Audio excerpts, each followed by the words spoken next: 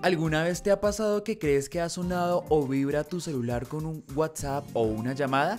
Y cuando lo miras no tienes nada. Es como si hubieras sufrido una alucinación y te quedas perplejo. El 70% de los usuarios han sufrido este síndrome. La razón es simple. Hacemos tanto uso del celular que nuestro cerebro ha asociado directamente el celular con cualquier impulso que recibe. Tener una, una, herramienta como es el celular todo el tiempo en la mano es estar a la tentación de que nos van a llamar, como que ya le dimos la orden al cerebro de que todo el tiempo estamos recibiendo una llamada, que algo va a pasar, que va a vibrar. Eh, muchas veces en ese síndrome, sin haber estado la llamada, sentimos que vibra el celular y lo contestamos. Eh, allí empieza ya como un síndrome, como que la necesidad de que yo tengo que contestar el celular porque me están llamando. Entonces eso nos produce obviamente un tema de ansiedad que va asociado a la angustia y a la necesidad de pensar que me están llamando todo el tiempo por ese celular. La nomofobia es el miedo incontrolable al salir de la casa sin el celular. En el momento en que vas para la oficina, el colegio o simplemente hacer tus vueltas personales y te das cuenta que no llevas el celular en el bolsillo y entras en preocupación existencial de no saber qué hacer o no te sientes completo, ojo, eres nomofóbico. Cuando tenemos ya esa necesidad, cuando ya hemos pasado por ese síndrome que anteriormente nombramos y al tener la necesidad de contestar el celular y al no tenerlos entramos en angustia. Se me quedó el celular, ¿dónde está? Voy y lo busco, lo encuentro.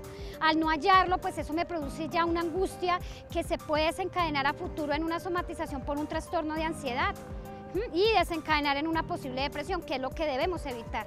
La dependencia a las redes sociales. En ocasiones te has sentido con la necesidad de estar conectado en las redes sociales y contestar los mensajes de Facebook, WhatsApp, Instagram, Twitter y demás.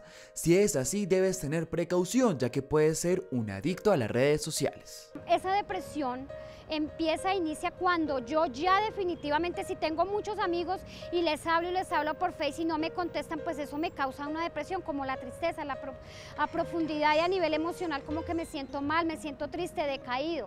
Em, pero eh, también vamos a mirar esa parte em, de cuando tenemos también muchos amigos en el Face y realmente estarle chateando a todos cuando nos conectamos con más de 20 y de 30 amigos eh, ante la necesidad de que nos den una contestación de una respuesta que queremos inmediata, entramos como en la angustia, como en ese aligeramiento humano de querer encontrar una respuesta detrás de esa red.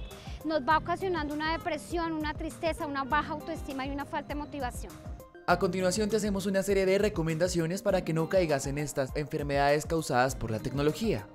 Es importante, primero que todo, eh, saber que somos seres humanos racionales, que podemos, eh, sabemos que la tecnología es algo muy grandioso, que nos llena, nos edifica, nos construye como personas día a día. Un consejo muy importante es saberla utilizar, saberla utilizar para las cosas básicas que realmente las necesitamos. Tenemos ahí de frente, tenemos que saberla utilizar, eh, aplicar estrategias asertivas, eh, por ejemplo, manejarlas en tiempos libres, no siempre, y aparte de eso, recurrir a otro tipo de conocimiento que no sea el buscador.